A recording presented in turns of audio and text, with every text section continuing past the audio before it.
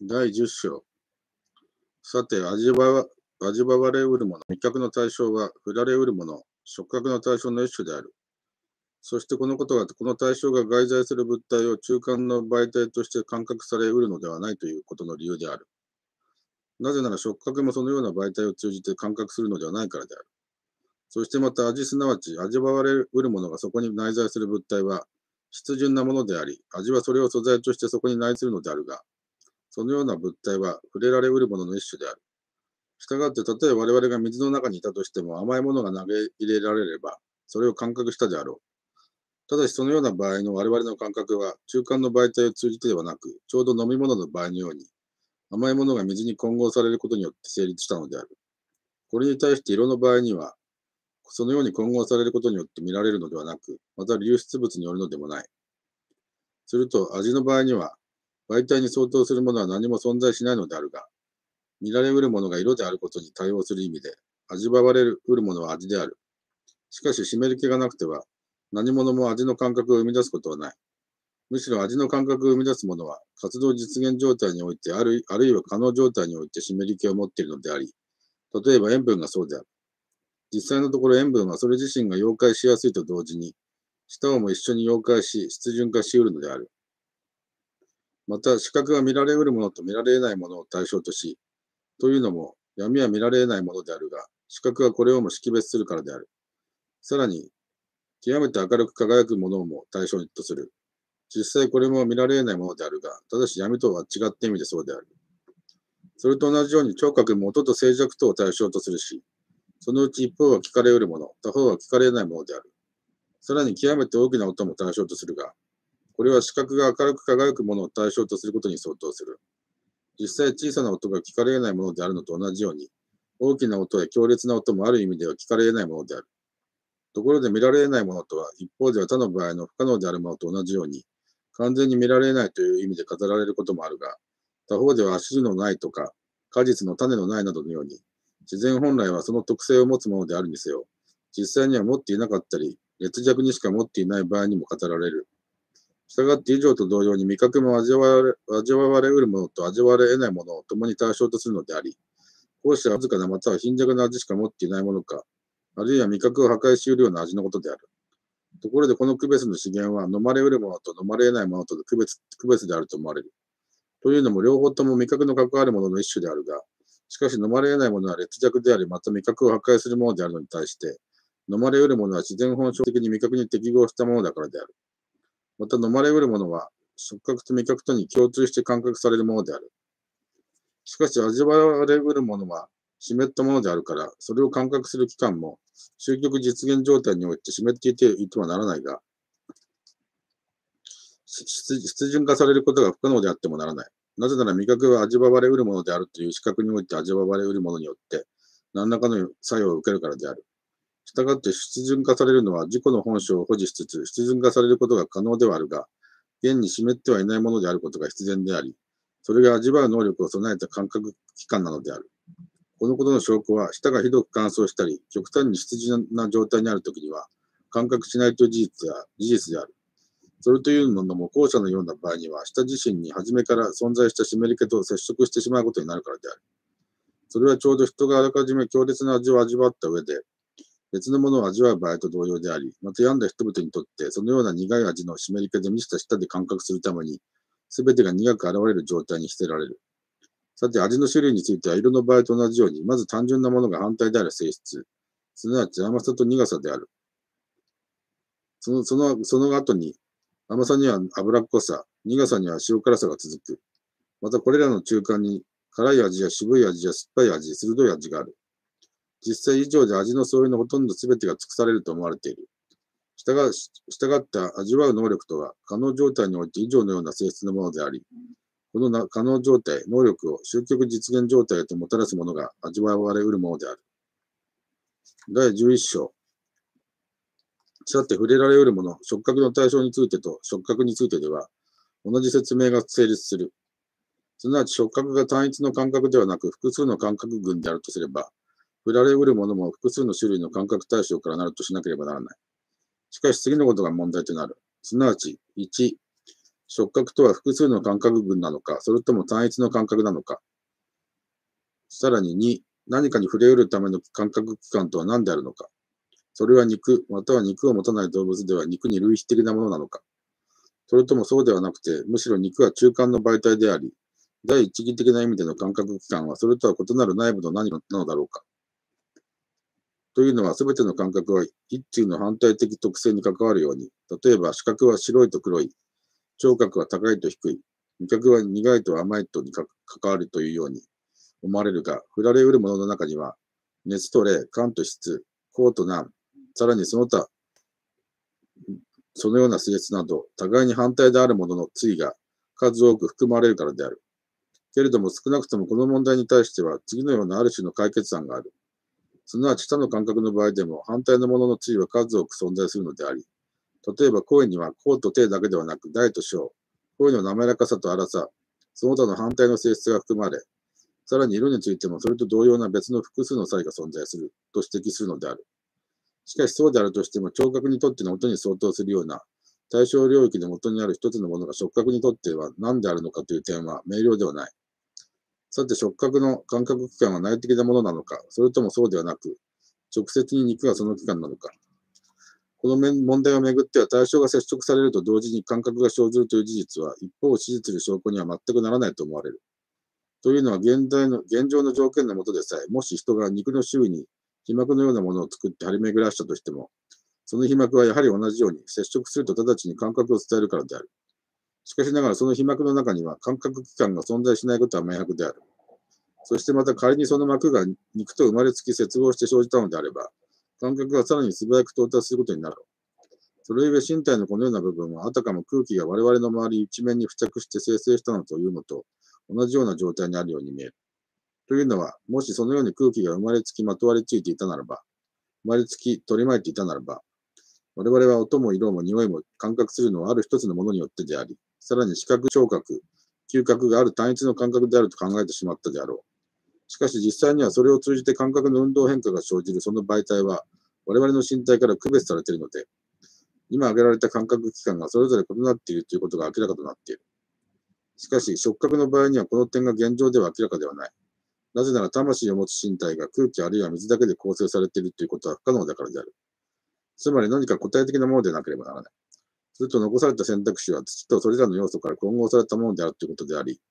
例えば肉やそれに類したものは本来そのようなものである。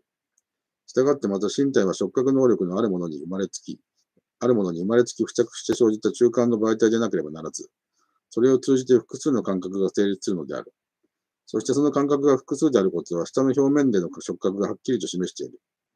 実際味を感覚するのと同一のこの部分によって、すべての触覚対象も感覚する。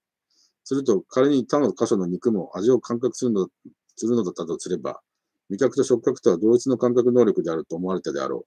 しかし実際には舌と他の部分の肉とでは、大体が不可能なので、両者は二つの異なる感覚である。ところで人は次のことを問題にするかもしれない。今すべての物体が深さ、すなわち、線と面に次ぐ三次元的広がりを持つとする。また二つの物体の中間に別の何らかの物体がある場合、その二つ物体は相互に触れ合うことは不可能である。しかし、湿り気は物体を離れては存在し得ず、また濡れた状態もそうであり、それらは水であるか、水を含むものでなければならない。他方で物体が水中で相互に接触するときには、その触れ合う両端は乾いたものではないのだから、それらの最表面を満たしている水が中間に介在するのでなければならない。そこで以上のことが正しければ、水中で何かが別のものと接触することは不可能であり、また空気中でも事情は同じである。なぜなら空気が空気中にあるものに対する関係と、水が水中にあるものに対する関係は等しいからである。ただしその事実に我々が気づくことは水中よりも稀であって、それはちょうど水中に生息する動物が接触している者同士が共に濡れていることに、まず気づくことはないこともないことと同様である。そこで以上のことを踏まえて問われるのは、感覚が全てのものについて同じ仕方で成立するのか、それとも対象の相違に応じて異なった仕方で成立し、味覚と触覚が接触することによるが、他の感覚が距離を置いて感覚するという現在の通念の通りであるのかということである。しかし通念のような区別は成立しない。むしろ硬いものも柔らかいものも我々は感覚器官とは別のものを媒介して感覚するのであり、この点は音を発し発し得るもの、見られ得るもの、嗅がれ得るものを感覚するのと同様である。ただし、今挙げたものの場合には対象が遠くに位置するが、先の例の場合にはごく近くに位置するという相違があり、だから媒体の存在に気がつかないのである。実際には我々は全てのものを中間の媒体を通じて感覚しているのであって、ただし触覚や味覚の対象の場合には気づいていないというわけである。しかしながら我々が以前にも述べたように、たとえ仮に我々が振られうるものを感覚するのは全て感覚を通じて通じてであり、その介在に気気づいていないのだと仮定しても、それは現に水の中や空気の中にいてそれを感覚するのと同じような状態にあることになるだろう。なぜなら現に我々はその対象自体に接触しており、中間の媒体となるものは何一つないのだと思っているからである。ただし、振られうるものは見られうるものや音を発しうるものと次の点では異なる。つまり我々が後者の対象を感覚するのは中間の媒体が我々に何らかの作用をすることによるのであるが、振られうるものを感覚するのは中間の媒体の作用によってではなく、中間の媒体とともにである。それはちょうど盾を通じて攻撃された人間と同様である。つまり盾が打撃を受け、その後にその人を撃ったのでその人を撃ったのではなく、両者の打撃は共に同時に起こったのである。しかし、一般的に言うならば、肉と舌とがその感覚、その感覚器官に対する関係は、空気と水が視覚や聴覚や嗅覚に対するのと等しく、肉や舌は空気や水のそれぞれに相当すると思われる。また、感覚器官それ自身が対象と接触するならば、前者の場合も後者の場合も、感覚が生じることはないであろう。人がある白い物体を直接に目の表面に置くというのがそのような例である。またこのことによって振られうるものを感覚する能力を持つ者が内部に存在することも判明する。なぜならそうであって初めて他の感覚の場合と同様の事態が成立することになるからである。事実、感覚、感覚器官に物を置かれた時には感覚されないが、肉の上に置かれれば感覚されるのである。したがって肉は触覚する能力の中間の媒体なのである。さて、振られうるということは物体の物体としての特性である。私が物体の特性というのは基本要素のそれぞれを規定するもの、すなわち熱、冷、間、質のことであり、こうした諸性質については我々は以前に基本要素についての書の中で論じている。また、これらの性質を対象とする感覚器官は触覚する能力を備えたものであり、つまりその内部に触覚と呼ばれる感覚が帰属する第一のものであって、可能状態においてはその対象と類似したあり方をした身体の部分である。というのも感覚するとは何らかの作用を受けることだからであり、従ってその作用するものは、感覚器官はそれ自身が活動実現状態においてあるのと同じような性格のものにするのであるが、それは感覚器官が可能状態においてそのような性格のものだからである。それゆえ対象となるものの厚さや冷たさ、あるいは硬さやや柔らかさが感覚器官がそれに等しいと、我々がそれを感覚することはない。